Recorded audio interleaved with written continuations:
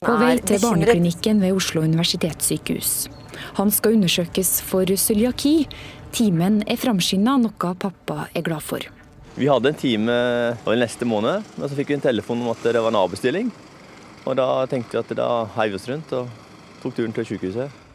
Når noen ikke kommer til time, rykker andre fram i køa. Den siste uka har tre av fire som skulle til undersøkelse ved barneklinikken her på sykehuset, ikke møtte opp. Vi har en betydelig lavere pågang av pasienter til klinikken nå enn vanlig.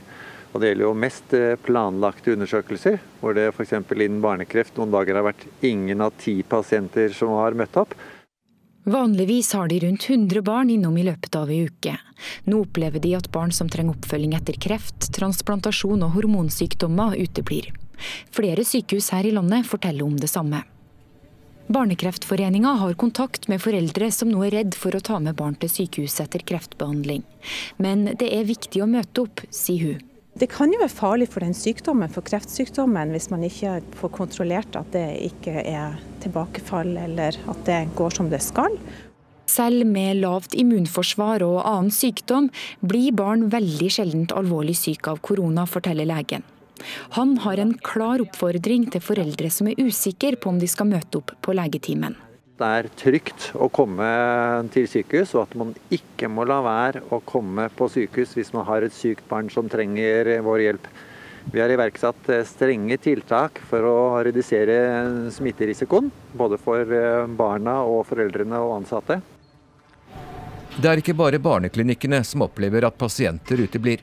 Sykehusavdelinger over hele landet melder om det samme, og Overlegeforeningen er bekymret. Det vi er redd for er jo at det er pasienter som er i behov av disse timene.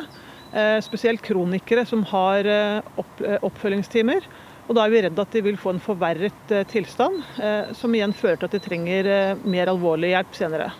Helsedirektoratet har bedt sykehusene redusere planlagte innleggelser og konsultasjoner, men det er ikke hele forklaringen, mener Overlegeforeningen. Vi tror jo at noen er redde for å bli smitta, i tillegg til at mange nok er, eh, ikke vil belaste sykehuset. fordi det eh, står jo i alle medier at sykehusene har mye å gjøre.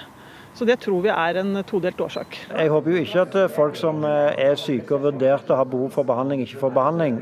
Det skal de få. Og Så må vi jo være klar over at når sykehusene skal ha en beredskap, så betyr det ikke, da kan ikke alle sengene fylle. For du tømmer ikke senger på et sykehus over natten. Det må en planlegge for. Og rådet til alle pasienter er klart. Alle som trenger eh, legehjelp, må søke legehjelp. Både hos fastlegen og på sykehuset. Ikke vær redd for eh, å, at vi har for mye å gjøre. Det vil man få beskjed om. Har du timer, så møt opp.